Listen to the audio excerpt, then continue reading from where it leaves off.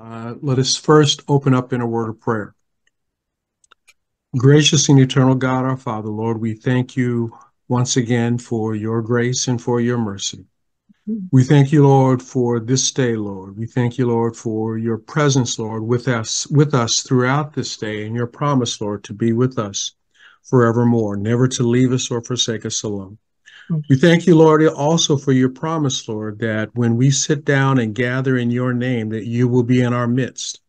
And we invite you not only to be in our midst, Lord, but to reign supreme, Lord, in our gathering. We pray, Lord, that your Holy Spirit will guide us this evening, Lord, into all truth, into all understanding, that our minds will be free from error, free from strife, free from any concern other than, Lord, to learn about you, to be edified by your word, and to glorify your name. Mm-hmm. Now, Lord, we ask that you would teach us as you have promised to do through your word. This is our prayer in the name of Jesus the Christ. Amen. Amen. Amen. Okay. We are going to finish chapter four this evening. Um, so let me let us begin. Okay.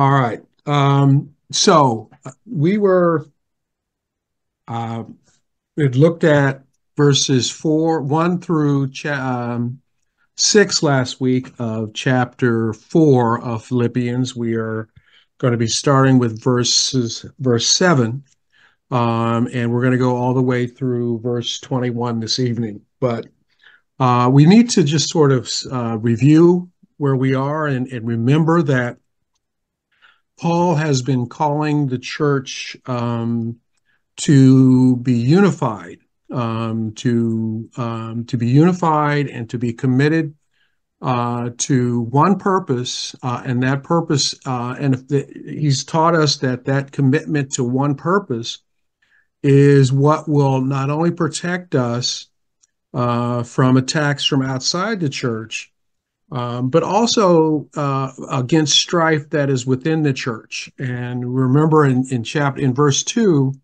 uh, of chapter four, he started out with pointing out to a dispute between two women of the church that was threatening to divide the church. Uh, and he has given us direct, directives in these first six verses that are meant to bring us back to that one purpose in order to deal um, with that strife. So we have been called to, to, to one purpose um, as he reminded us in Philippians 2, verse 3, where, he says, Make my joy complete by being of the same mind, maintaining the same love, united in spirit, and intent on one purpose. And he identified that purpose for us in chapter 3, verses 7 through 11.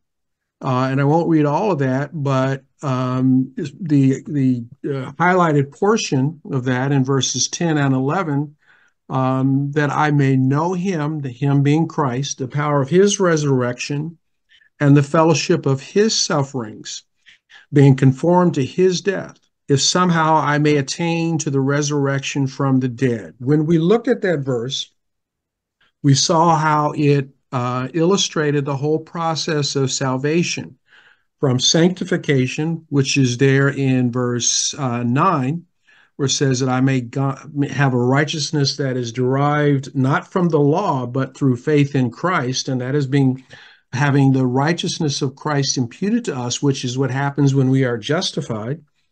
Uh, and then sanctification is when we know him and the power of his resurrection and the fellowship of his sufferings being conformed to his death. And that is where we put our own flesh and our fleshly desires on the cross so that we can live by the Spirit. That's the process of being sanctified, where God removes from us uh, those things in our flesh that are displeasing to him. And and the purpose being to attain to the resurrection from the dead when we are resurrected from these deadly bo- these earthly bodies and we receive a glorified body and we are removed from the presence of sin. So that is the purpose to which uh, we have been called. That is the purpose that that paul urges us to be intent on to have as our highest goal. Remember, he said also in chapter 3 at verse uh, 14, he says, One thing I do, and that is to press forward, uh, press toward the mark of the upward call. And that is this call right here of God that is in Christ Jesus, the call to be conformed to the image of Christ.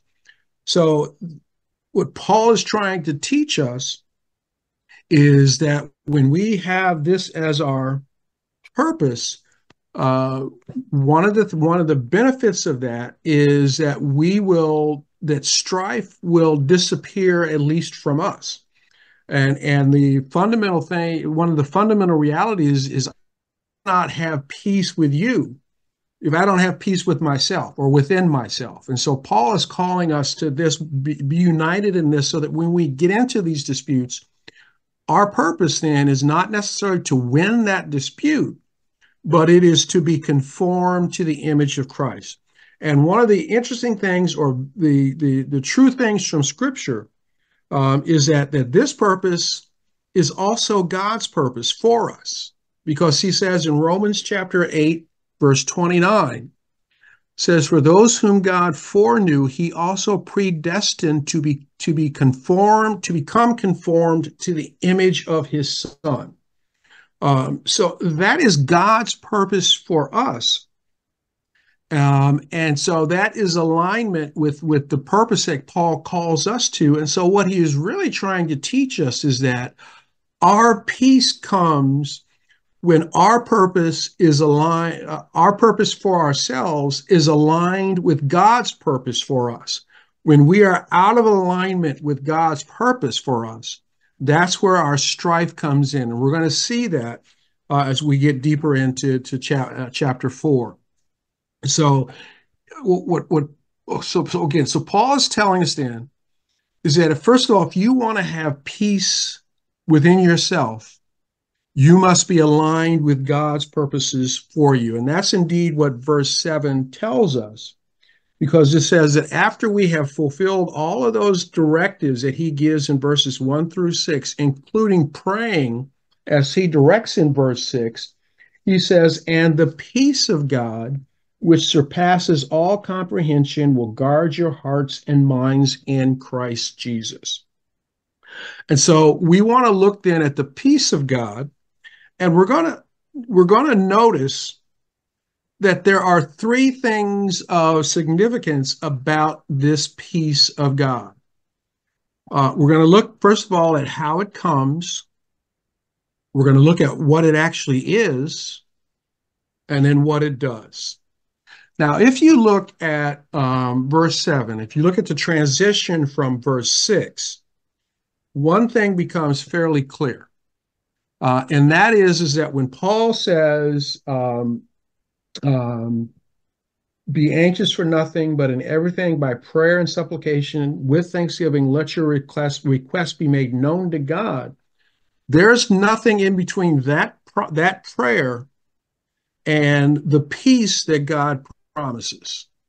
So what we then see then is that the peace does not come from having our petitions granted by God it comes from the it flows out of the prayer itself it flows it flows out of a prayer that itself flows out of the humility that god that paul is writing about and that he's called us to because all of what he writes um, all of the directives that he gives us in verses one through six are designed to bring us to this humility where we are focused on the one purpose uh, we have the same mind that with that one goal and that is to be conformed to the image of Christ. So it does not come from having our prayers granted, it comes from uh, having our relationship perfected. It's prayer is not about getting things, but it's about perfecting our relationship with God. And we see this in the passages that are there. Uh, in three of them, uh, first, Second Chronicles chapter seven, verse fourteen, and Psalm thirty-seven, four, and Matthew six, thirty-two, and thirty-three. Those are all if-then clauses, and that is, if we do X, God will do Y. And we're going to look more closely at the, the passage in Second Chronicles in a moment. But for example, in Psalm 37, verse 4, he says, Delight yourself uh, in the Lord, and he will give you the desires of your heart. Notice he does not say ask for the desires. He says delight yourself in the Lord. And in Matthew chapter 6, verse 32 and 33, the familiar passage from the uh, Sermon on the Mount, where he says, Seek first the kingdom of heaven and its righteousness. And the promise then is that, and then all of these things will be added unto you. So, what these passages saying is that we focus on perfecting our relationship with God. And the things that, and then God will do what He's promised to do, which is to give us the desires of our heart, to give us everything that we need. So, it's about perfecting our relationship with Him and not necessarily about asking for things. So that's where our peace comes from. It comes from from being aligned with God's purposes and seeking to perfect our relationship with Him. Now, what the peace is, now the, the, the phrase is it is the peace of God, right?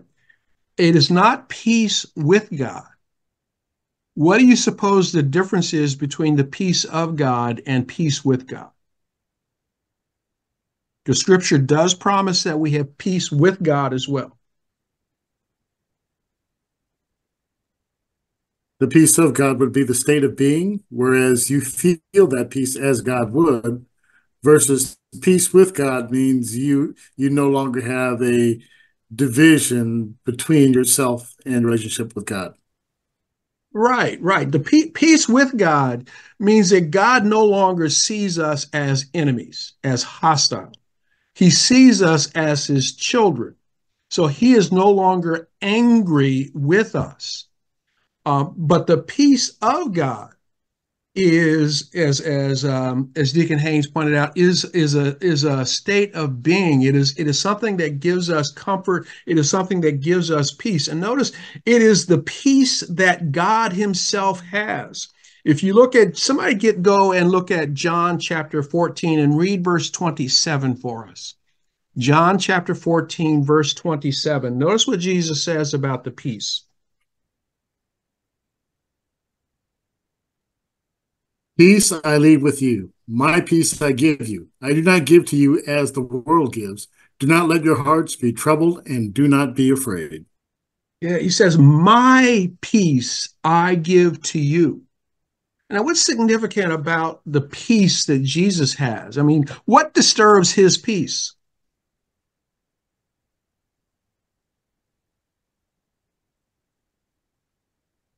Nothing. Nothing. And why? Why? He's the Prince of Peace. Okay, he is the Prince of Peace. Because he's sovereign, he can do all things. Ah, because he is sovereign, he can do all things, right? And so, would he, because of his sovereignty, be concerned about something that happened in this world? Not No. at all. No. Right, because it all fits within his sovereign plan. He is sovereignly in control of that. And so that's the peace that he gives to us. Right? So, and, and that means then that when things happen, uh, like earthquakes, uh, hurricanes, or sickness, or whatever, losing jobs, we know that God is sovereignly in control of everything. So our peace should not be disturbed, right? It means that we should be able to sleep like a baby in a den of hungry lions. It means that we should be willing to endure being thrown into a fiery furnace. It means that on a boat in the middle of a lake in a, in a storm, while everybody else is panicking, we should be able to sleep the sleep of the righteous. One of my favorite verses is Psalm 4, verse 8. Somebody go there for us. Psalm 4, verse 8.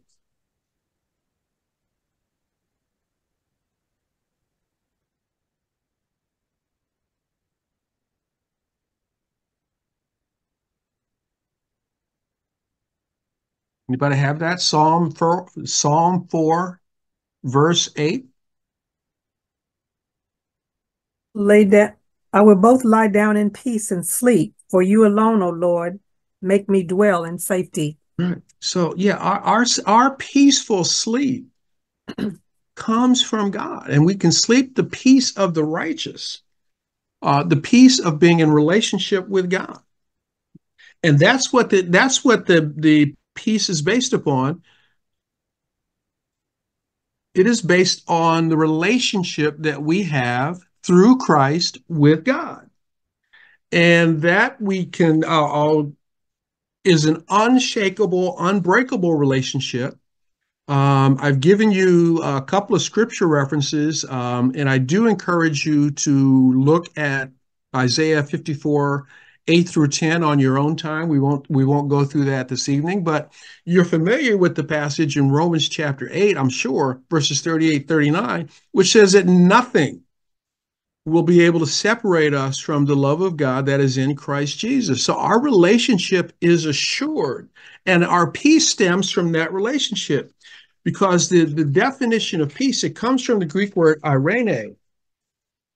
And the definition of eirene peace is the tranquil state of a soul assured of its salvation through Christ, and because of that assurance, fears nothing from God and is content.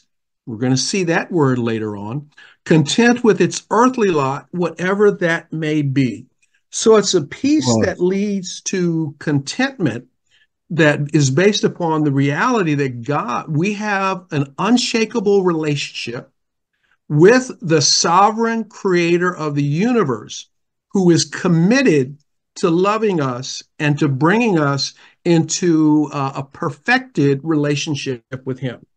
That's what our that's the peace that we have been given and that's what it's based upon. So and what we also need to understand what paul also says then about this peace in verse 7 is that it is beyond all human comprehension.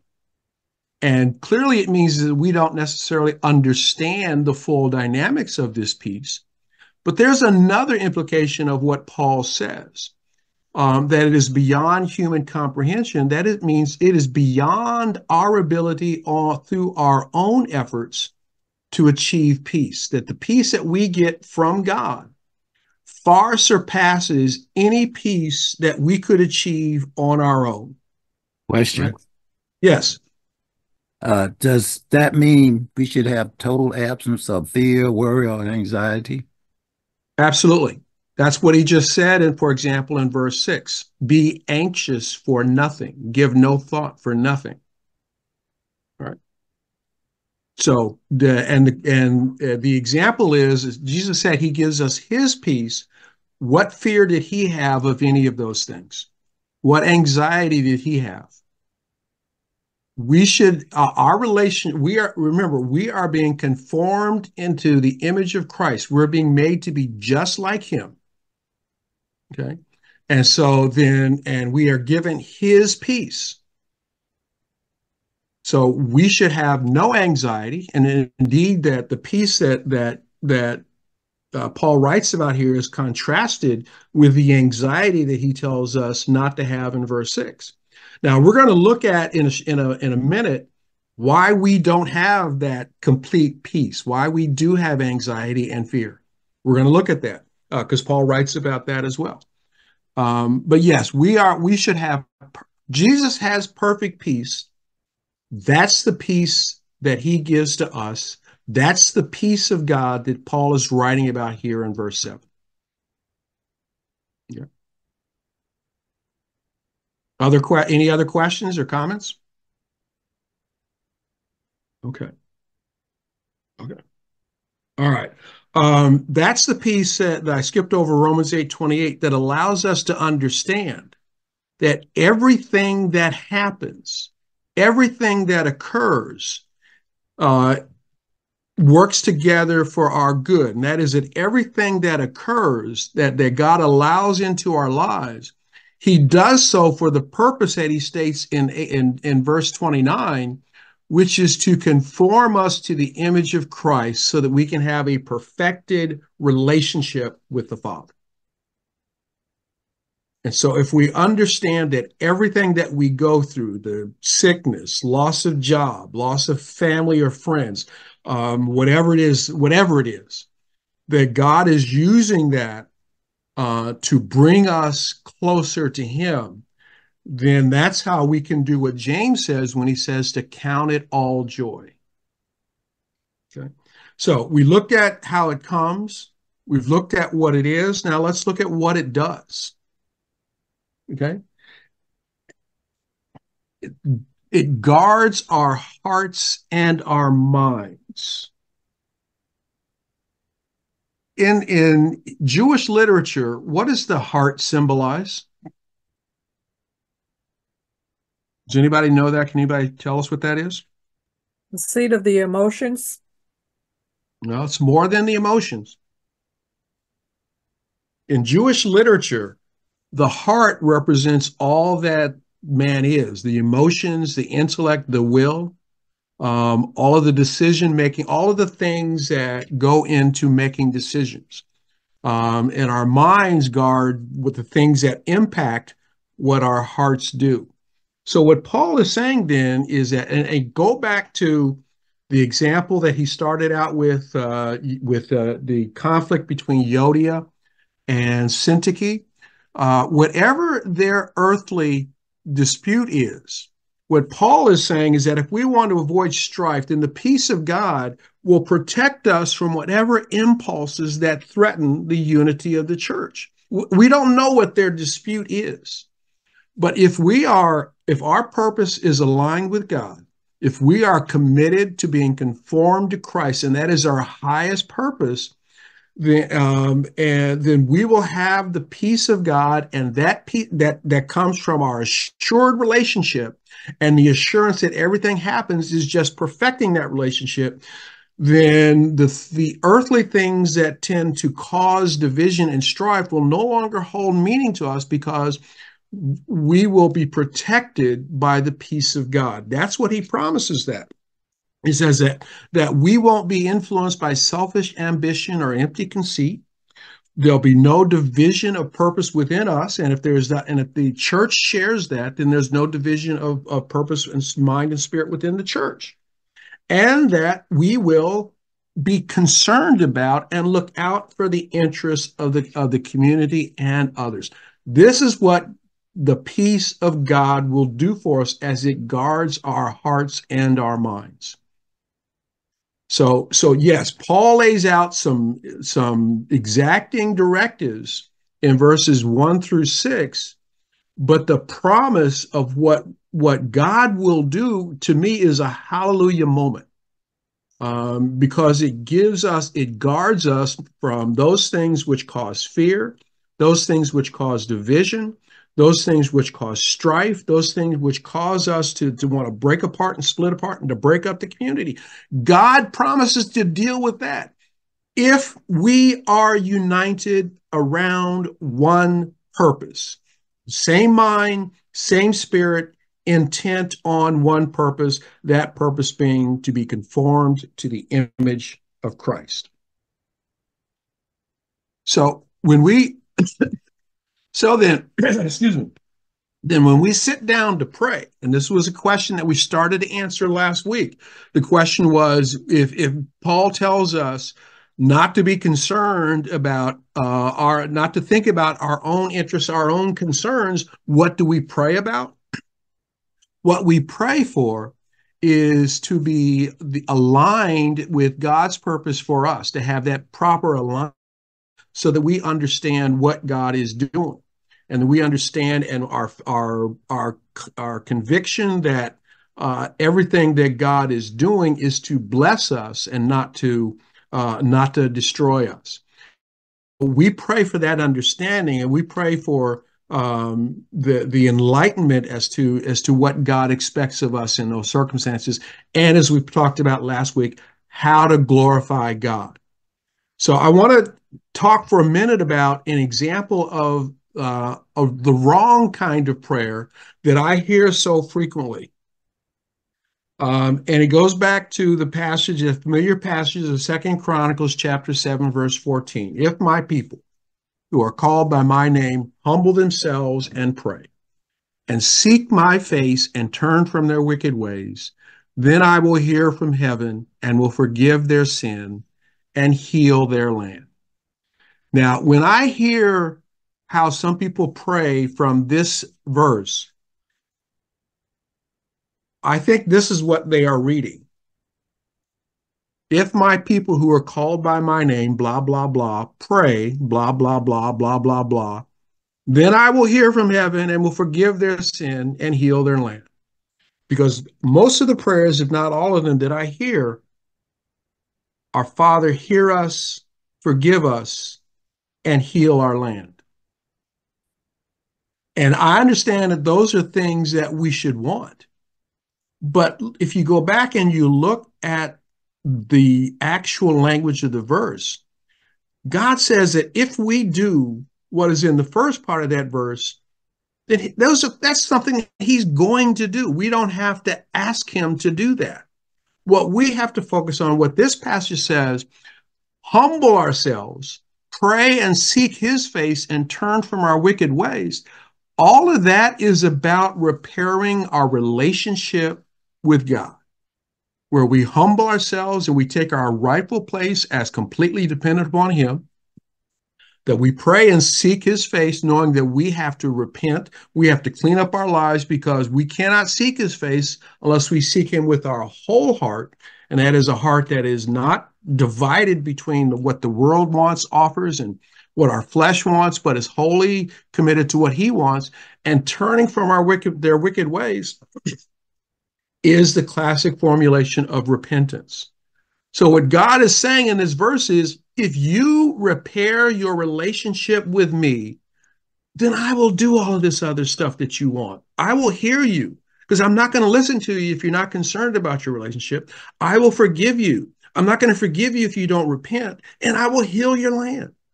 He promises to do all of that. We don't need to ask him to do that.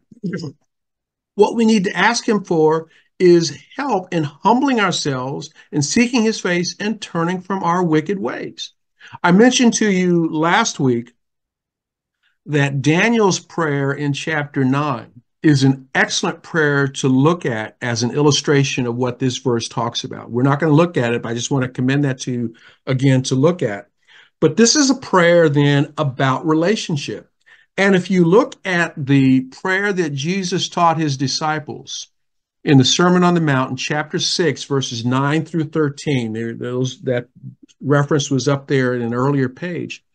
That prayer is a prayer about relationship. The prayer that Jesus taught us to pray is about relationship with Him it says, Hallowed be thy name. That means glory to God. And, and in reality, may I live in a way that glorifies God. It says, Thy will be done on earth as it is in heaven, which means I have to submit my will to his. Even the petition that says, Give, give us this day our daily bread is a prayer about relationship, a relationship where we live in daily dependence upon God. So that that entire prayer that Jesus taught us is a prayer about relationship. If we focus on the relationship, then God will focus on doing what he has promised to do, which is to bless us. And this is illustrated, I think, beautifully in this passage in Isaiah. The setting for this is the people of the nation of Judah was under attack. And rather than turning to God, the nation, uh, they were soliciting Egypt for help. And God said, don't do that.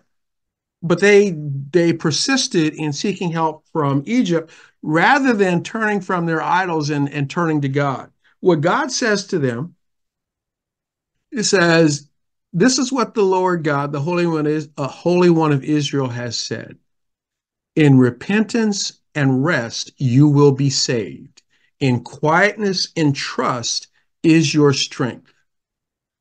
In other words, if you repented and rested in what God was would do, if you acted in the, the, the quietness that comes from confidence and the trust, the faith of the of the Lord, there's your strength, but you were not willing.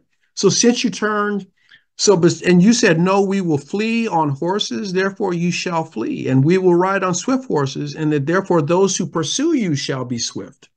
One thousand will flee at the threat of one man, you will flee at the threat of five, until you are left like a signal post on a mountaintop and like a flag on a hill. Now, those three verses were taken from the English Standard Version, but I took the, the verse 18 from the New Living Translation because it comes the closest to saying what the actual, the, the literal interpretation of the, the, the Hebrew language. And it's this long, notice what God says, what Isaiah says about God. The Lord must wait for you to come to him so he can show you his love and his compassion. You know, I, I don't want God to have to wait to show me love and compassion. Right? So, what I need to do is come to him and come correctly. I need to come to him in repentance and in rest and in quietness and in trust. Because if I do that, he will show me his trans his love and compassion. The English translation says he longs to show us his love and his compassion, but he can't do that. He won't do that if we're out of relationship with him. So our primary focus in any prayer we pray should be relationship focused. It should be focused on improving and perfecting our relationship with Him so that He can show His love and compassion on us. He wants to do this, right? Questions, thoughts, comments?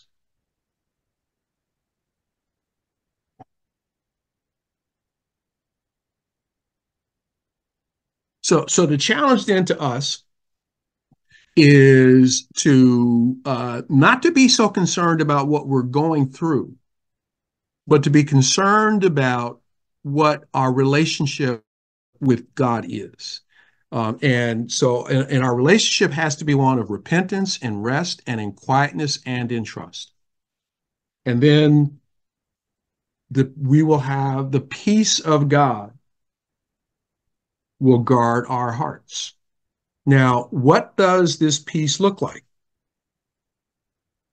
Uh, and that's where we're going to. Can I get somebody? We're going to read from verses 8 through 20 of Philippians chapter 4. So, can I get somebody to read those verses for us?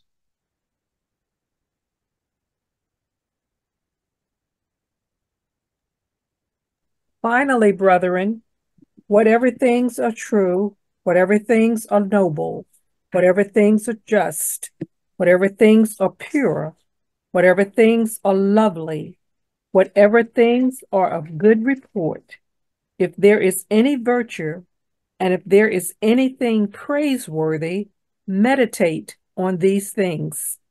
The things which you heard, learned and received and heard and saw in me, these do, and the God of peace will be with you.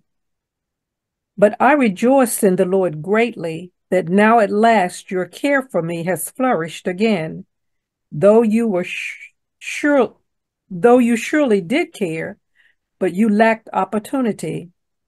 Not that I speak in regard to need, for I have learned in whatever state I am to be content. I know how to be abased. I know how to abound. Everywhere and in all things, I have learned both to be full and to be hungry, both to abound and to suffer need. I can do all things through Christ, who strengthens me. Nevertheless, you have done well that you shared in my distress. Now, you Philippians know also that in the beginning of the gospel, when I departed from Macedonia, no church shared with me concerning giving and receiving, but you only. For even in Thessalonica, you sent aid once and again for my necessities. Not that I seek the gift, but I seek the fruit that abounds to your account. Indeed, I have all and abound. I am full, having received from Epaphroditus the things sent from you, a sweet smelling aroma, an acceptable sacrifice, well pleasing to God. And my God shall supply all your need according to his riches and glory by Christ Jesus. Now, in our God and Savior be glory forever and ever. Amen. Thank you. Thank you. Okay, so we're going to cover verses 8 and 9 after we go through what the peace of God looks like in verses 10 and 20 through 20. Uh, but let's look at what this peace looks like. Um, what is what is the what in, in verses 10 through 14 what what comes out to you from reading those those verses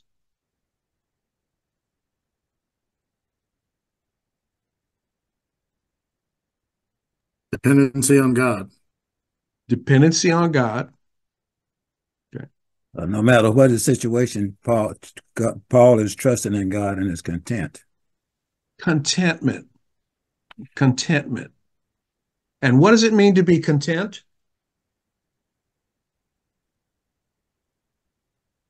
To know that God is fully in control and he will do what is necessary and what he wills to do. okay. That that's why we can be content but what does it mean to actually be content to be satisfied. to be satisfied right Trust and, him. and trusting Mhm. but doesn't it also mean to cease striving Mm. Yes. I mean, if we're not content, right, we are striving for something to make us content. And we've already seen that striving, right, is a source of our flesh and, and is a source of quarrel. So, so contentment in every circumstance. And, and as, uh, as uh, Sister Sylvia pointed out, we can be content in every circumstance because we know the sovereignty of God. And we know that whatever circumstance we're in is part of God's foreordained plan for us. And that that plan is to bless us, to give us a future and a hope. So we don't have to worry about whether we have much or little, whether we're sick or healthy, whether we uh, have a job or don't, or, or anything. We are content and because God ha- because of the relationship that we have with God, that unshakable, unbreakable relationship that we have with God through Christ, and his promise, right, that all things work together for our good. So if we know this, if we believe this, why would we be anything other than content? Christians. Right. And we also see that Christ is the source of our contentment. And, and most people take verse 13 out of context to say that I can do whatever um, uh, because of Christ who strengthens me. But that's not a promise of some supernatural ability to do all things. It's not a promise that you can walk on water simply because you decide you need to walk on water. Um, it's a promise that Christ alone is sufficient for our contentment. That being in Him um, and being found being found in Him and having all the blessings that come from that is why we are content. And it's a promise of the transforming power of Christ. And we're going to look at that specifically when we look at why we don't have, why we don't always feel um, the contentment or the the contentment that comes from peace with God. But it's it's a promise that that everything that we need to feel content, to experience contentment, is found in Christ. All right. Reverend We also, uh, yes. I saw uh, some people interviewing some homeless people, and they asked them how they felt about their situation, and they said they were content. hmm So, what's the difference between their contentment and our contentment? the, there, you know, there are people that feel content simply because for for earthly reasons. The the earthly the the our contentment is a contentment that le- that comes from a relationship with God, and it's the promise of something far more glorious. Um, the the earthly contentment just means that I'm okay with suffering, and I'm okay with that being all there is. Godly contentment recognizes. Remember, we said that in the standing firm part, where Paul urges us to stand, uh, the uh, the Philippians to stand firm in verse one. That is with an eye on heaven and the things that are to come. Our contentment is is that God is taking us to a place uh, where there will be no suffering, no pain, no sin, nothing but no tears so it's the contentment. You can be content simply because you don't expect anything better. You can be content because you're happy with suffering. But our contentment has something far more glorious attached to it.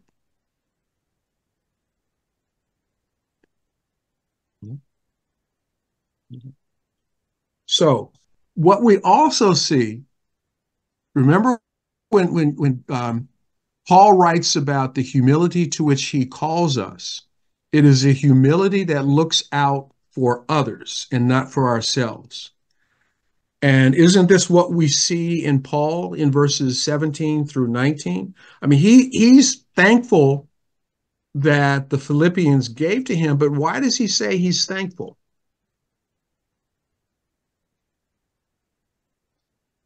Look in verse 17.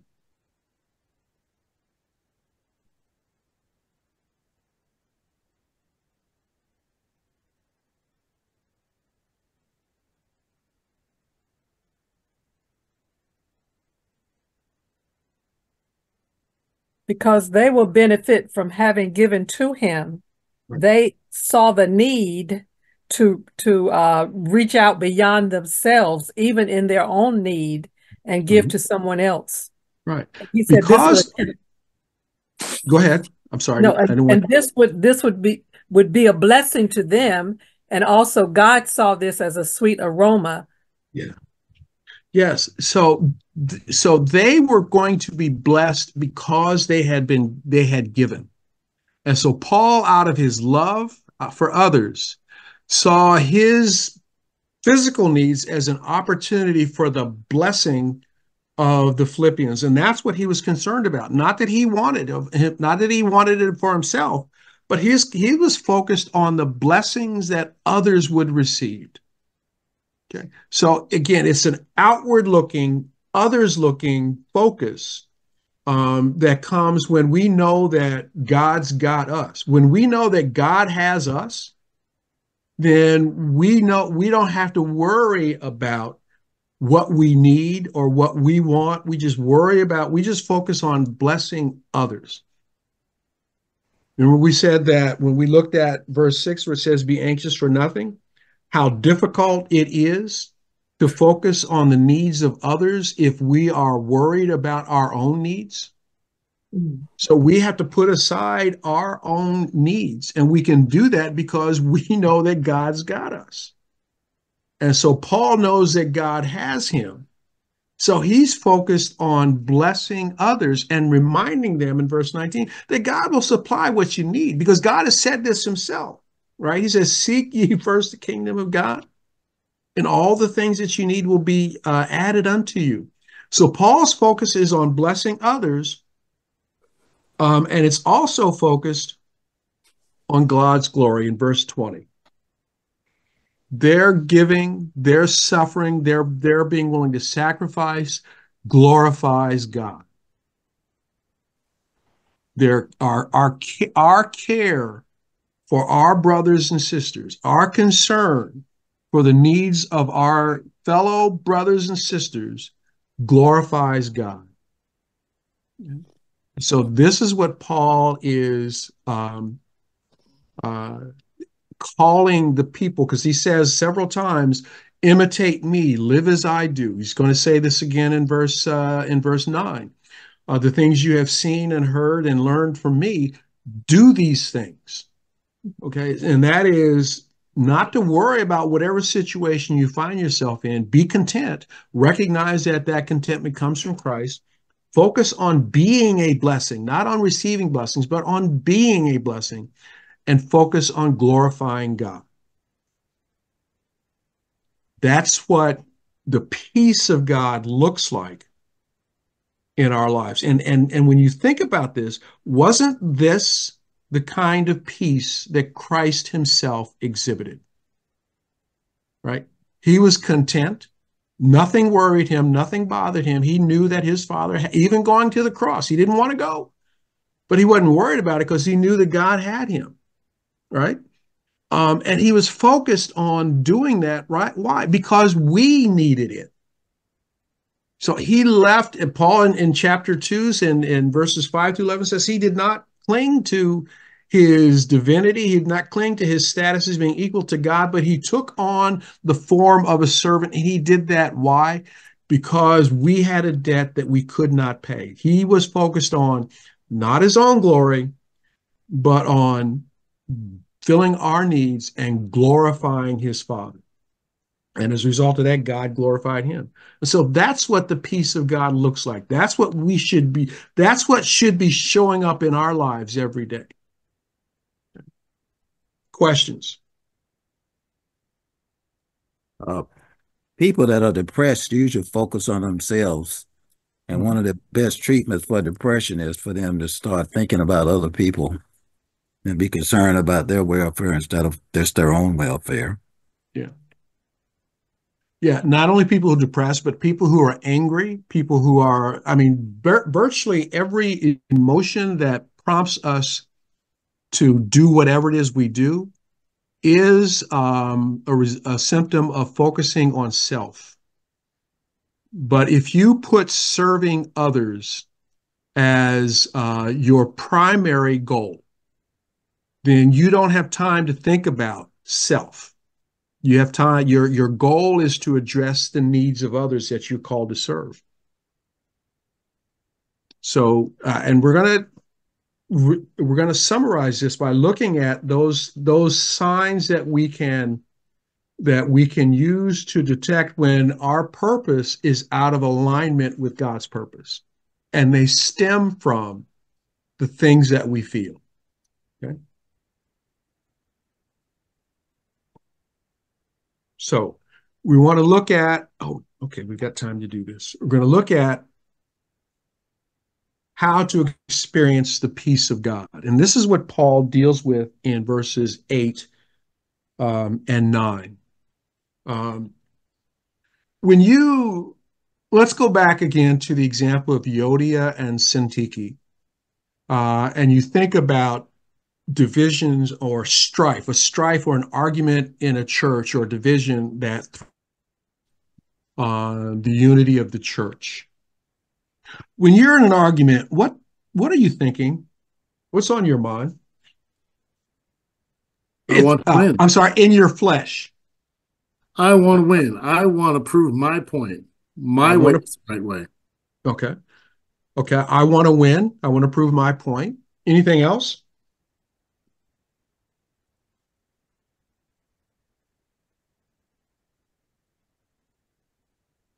Do you think about what happens if you don't win?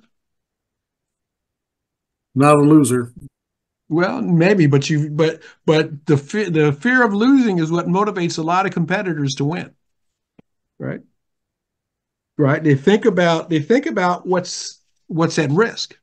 They think about what they're fighting for. Um, for example, when you're when you're sick, right, you think about your health and the implications of that right? And so we tend to then, all of that then is focused on self.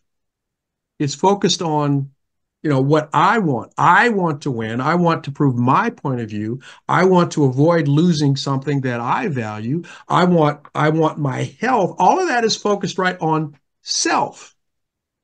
Uh, any wonder that Jesus says you want to be my disciple, you have to deny self, right? But the reason then that what we then have to do is what Paul writes about in Romans chapter 12. We have to be renewed, right, by the transforming, I'm sorry, be transformed by the renewing of our mind. In other words, we have to change what we think about when we get into these disputes. And we remember we have to, we've been called to the purpose, the one purpose of being conformed to the image of Christ. And so instead of thinking about how I'm going to win or how I'm going to avoid losing all of these things, we have to think about how is God using this to conform me to the image of Christ? And am I being conformed to the image of Christ? In other words, we have to change the way we think. As um, Pastor Dolby says, we have to change stinking thinking. Right? Right? And, and this is what Paul writes about in verses 8 and 9. We have to change our stinking thinking. We have to align our thinking with God's truth and to elevate our thinking above earthly disagreements. Right? So, what specifically does he say? So, instead of thinking about winning the argument, think about God's truth.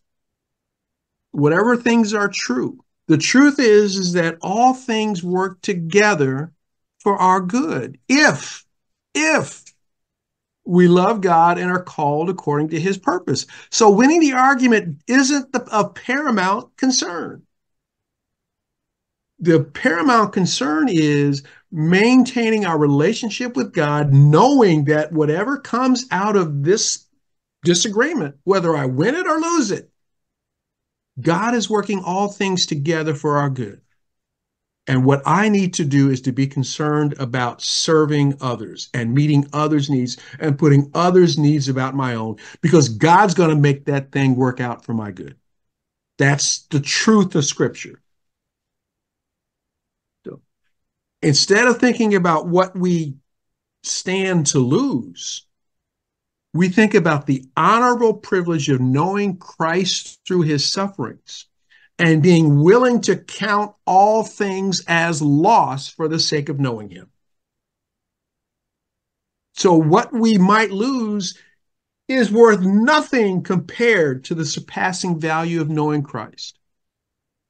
So, instead of thinking about what I might lose, think about what you're going to gain through knowing Christ and that losing and that losing earthly things is a way to gain Christ.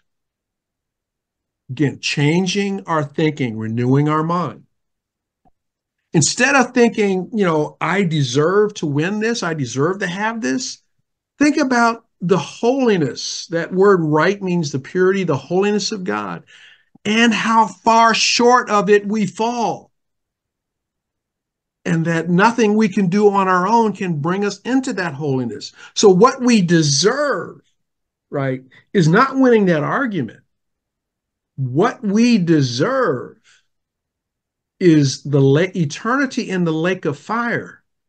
But what God does for us is he gives us the right, he gives us the holiness, and he is perfecting us to perfect holiness so that we can spend eternity with God. So don't think about, you know, I, you know, I should have, I should have that seat. That's my seat, or I should have that position. I no, I want the holiness of God and it doesn't come from from battling over petty earthly arguments i don't care what they might involve they're all petty with regard to uh, the holiness that and the relationship with god. There's an old saying there's an old book uh, saying that came out of the 80s i guess don't sweat the small stuff and it's all small stuff. It is. So again changing our thinking. Don't be concerned that life is not fair or I never get what I want, but think about eternity. God says that we are citizens of heaven, and that's and our mind ought to be on heaven. And we ought to think about the pure holiness that is required to spend that eternity with God. Think about these things. And don't think about what we're suffering but think about how lovely our praise is to God in our suffering. Because it says to God that I trust you, that I value my relationship with you more than uh, I'm concerned about this suffering. It says that we recognize the truth of Paul, what Paul says that our suffering is not worthy to be compared to the glory which shall be revealed in us. We have to elevate our thinking from those things that are always involved in earthly disputes and think about where what God is doing, where he's taking us, and and and how assured we are that we're going to get there. That will help us eliminate all strife. If we do those things, then what Paul prays for in Colossians, I'm sorry, the, the risk of harm versus the, you know, we, we think also about I'm giving up all of these things. Um, but we need to think about the faithfulness and the trustworthiness of God.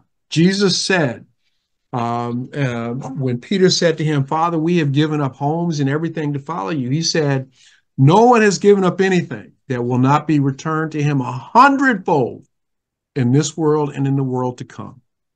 And we need to think about God's faithfulness and his trustworthiness, that everything that we give up in this world will not compare to what he has for us. When we can renew our mind and elevate our minds to these things, then the peace of Christ will rule in your heart, as Paul writes about in Colossians chapter 3, verse 15. What this all tells me, one of the things it tells me is if I want to know if uh, my purpose, if, if my commitment to my purpose uh, of being conformed to the image of Christ is fully in alignment with God's purpose in conforming me, all I have to do is to examine what I feel. If I'm feeling anxious, it's not because God is moved, it's because I'm out of alignment, because He says that there's no reason to be anxious. If I'm feeling fearful, I'm out of alignment. God's not, because He has not given me a spirit of fear, but of power, uh, love, and a sound mind if I'm feeling angry uh, at the wrong things, there are some things we should be angry about, but scripture says if I'm feeling angry at the wrong things, I'm out of alignment. My my focus, something else is competing with my the purpose of being conformed to the image of Christ in my life. So check your emotions. All of them and and you know, our emotions are with us and they are real. Um, and we will deal with them as long as we are in this flesh. But they help us to understand not that somebody has done me wrong, not that somebody has taken something from me that I deserve. It is that I am out of alignment with God's purpose for my life. And that purpose is to be conformed to the image of Christ. Yeah. Any questions? Thoughts, comments?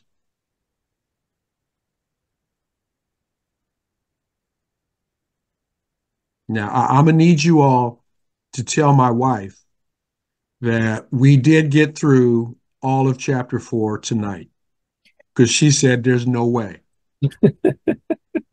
especially after I told her we only got through one verse last week. So I need you to tell her that. All right. Peace about it. okay.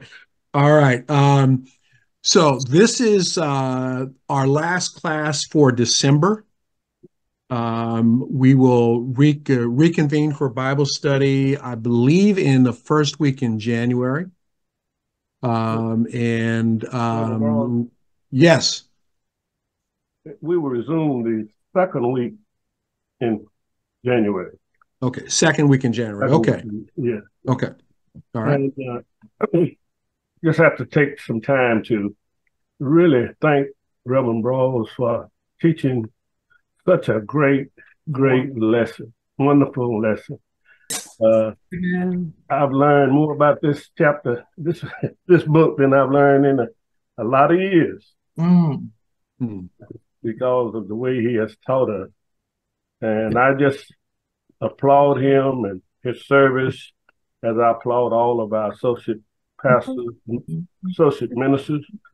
And uh, we are very fortunate at First Baptist Church to have such talented in Christ associate ministers. And I think Amen. give all of them a hallelujah. Amen. Amen. Yes, Amen. All Reverend- glory to God. Reverend Briggs will be teaching the next lesson starting the second week in January. January tenth, correct? That would be January January 10th. tenth, yeah. And we are looking out for a hallelujah good time with his. We're in the process of finding a an uh, interim pastor.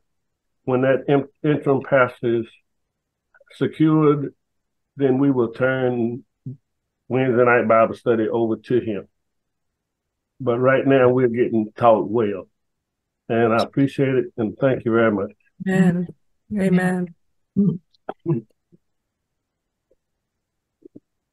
All right. I can't see you. Um, I'm sorry. no, I'm saying I can't see you all off of computers messing up. Okay. All right. Uh, I'm going to ask, What is I'm the sorry? next book we're going to, what is the next book that we are going to study? We don't know yet. Uh, We don't know yet. Right now, he's working on Oh, that. okay, So when, when it Okay. gets, we'll have it in the news newsletter. okay. all right, I will ask um, Deacon Ward if you will pray us out. Right. Let us pray. Gracious and merciful Father God, we thank you so much for this opportunity to, to study your word tonight. We've learned a lot. And we thank you for the instructor and the way in which he prepared to clarify your word for us, Lord. We pray, Heavenly Father, that we will grow from it and become better Christians, that we will be at peace with ourselves, even in the midst of chaos, Lord, to grow and become better servants, better Christians, and better people. We ask it all in your name. Amen. Amen. Amen. Amen. Amen. Much.